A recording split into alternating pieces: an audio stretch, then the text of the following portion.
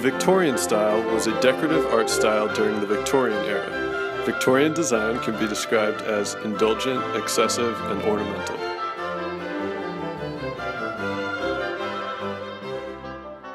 The arts and crafts movement was an international decorative and fine arts movement which was characterized by extremely detailed ornamentation. Art Nouveau was a turn of the century style that often incorporated flowing female figures and extravagant decorative type.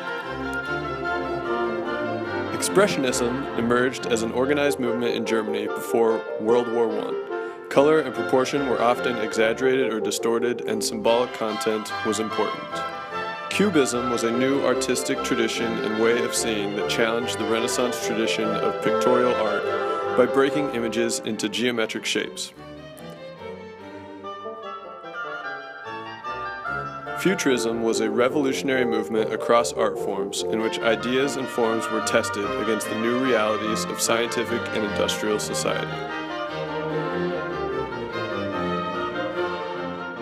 The Dada artists rejected logical, artistic expression and embraced chaos and irrationality.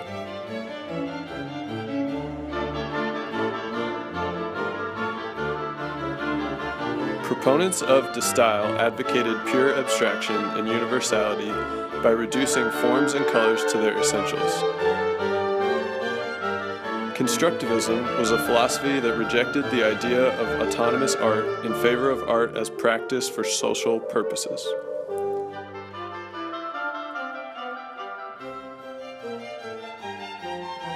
Bauhaus encouraged the embrace of modern technologies in order to succeed in a modern environment. The most basic tenet of the Bauhaus was form follows function.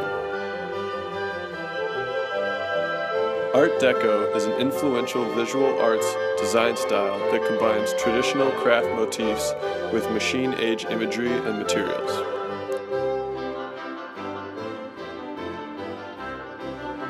Surrealism features the element of surprise, unexpected juxtapositions, and non sequiturs.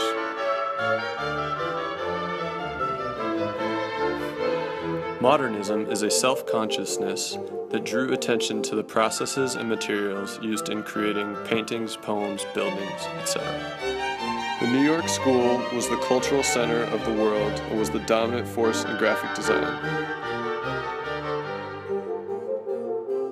The international style was known as the Swiss style, which emphasized clean, readable, and objective design. The pop psychedelia style in this period was based on hallucinogenic drugs, distortions of perception and awareness, and had intense color and calligraphy. The Basel movement explored the contrast, textures, and scale possibilities of new and experimental typography. The style of design was clean, type-based, and minimal. The punk style was loud, extreme, and had a strong outspoken message.